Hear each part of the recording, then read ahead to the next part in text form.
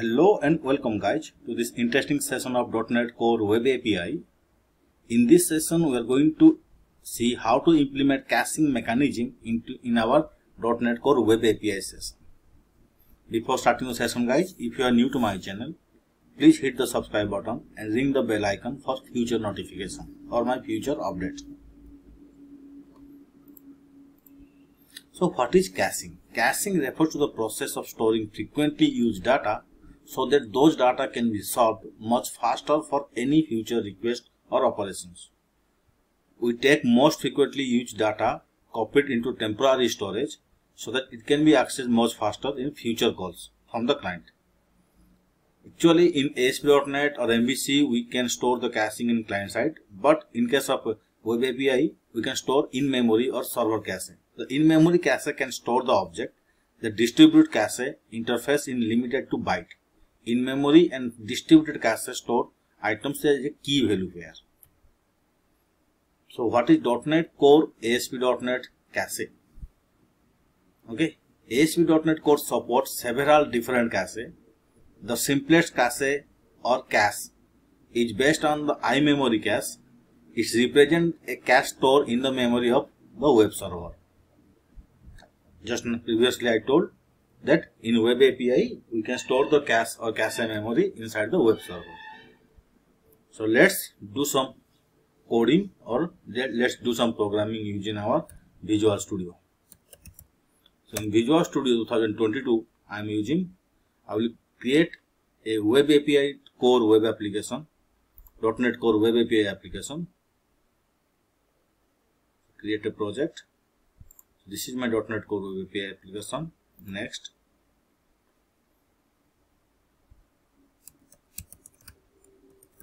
Caching API, I am giving the application name. I no need of HTTPS or Open API support. 6.0 I am using .NET Core 6.0.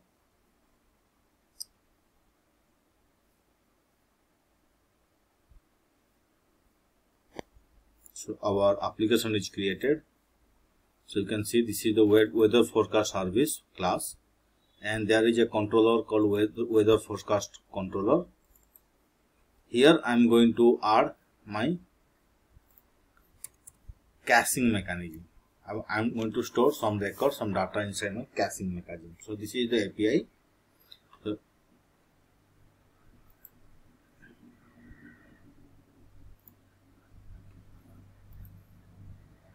So let's add one static class here. I'm adding one static class.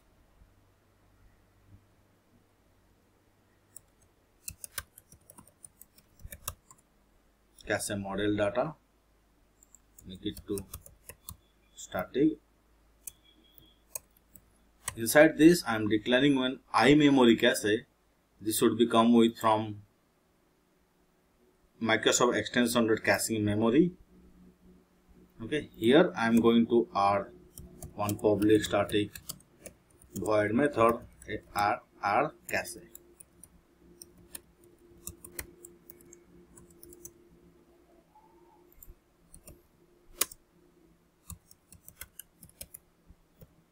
is it will take two parameter one is the cache key id and cache value as i told it is always stored in the key value pair right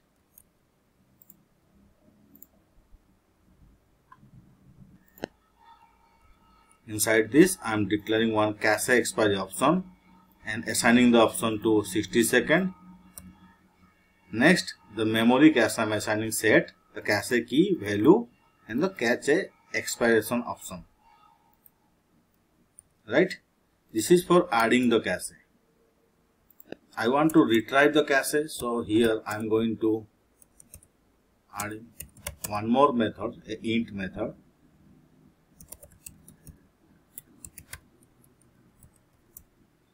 cache it will take the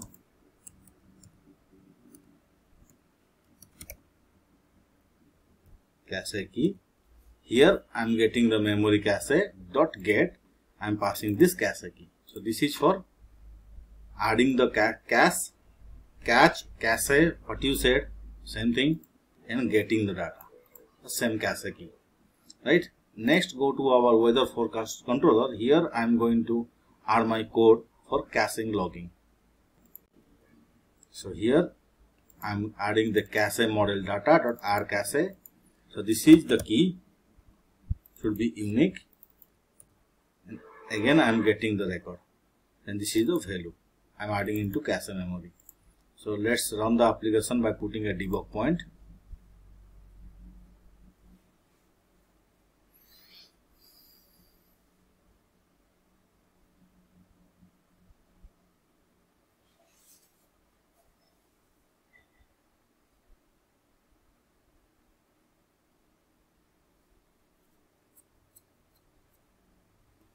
so let's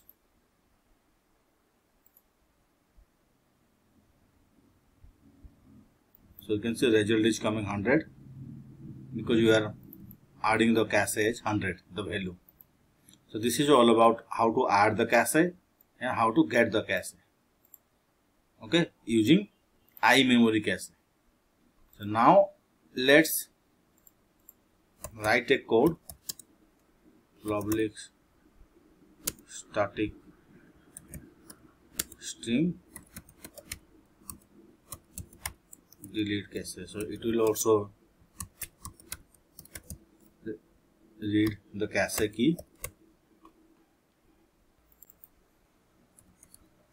So let's add void for this and the memory cache remove dot cache key.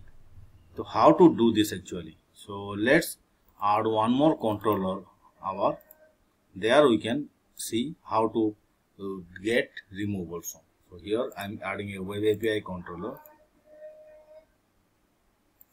So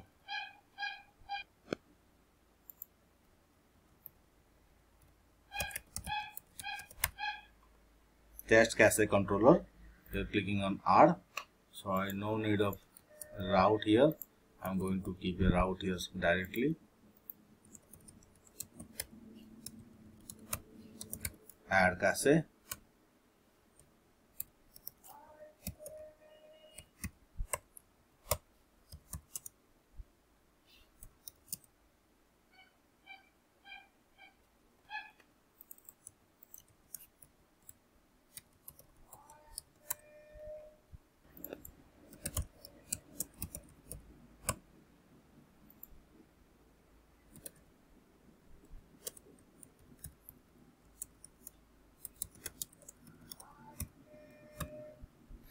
so here also I am going to write like this same to same so you can see. Adding the cache I'm going to add one more which is get cache okay so here it will be integer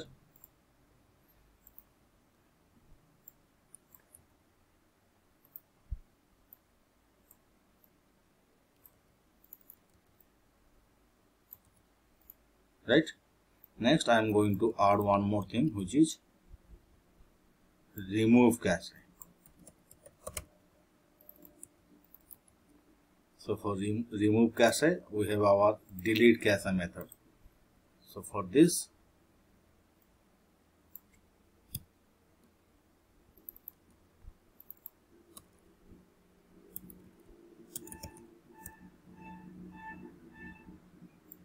guys forgive about the background noise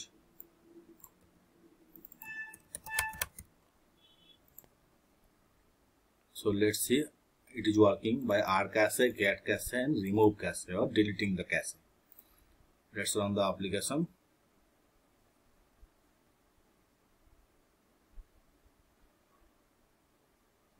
so in add cache we are adding the value as 1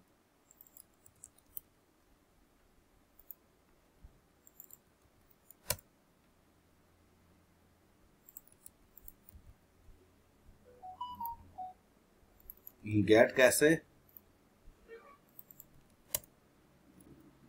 wrong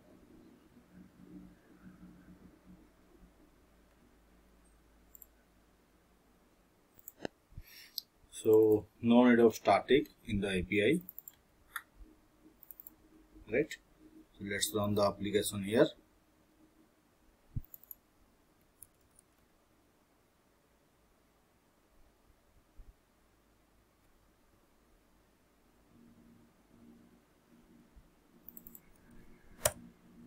cache added let's see the same cache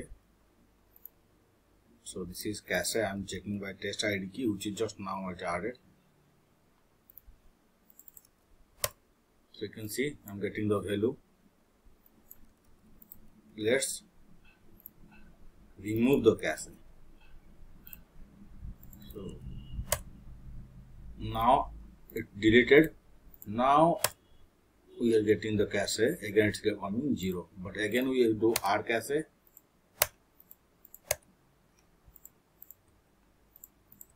right so in this way we can implement caching mechanism in our .NET Core Web API. Guys, if you like my channel, please hit the like button so that I will be encouraged. Thank you very much.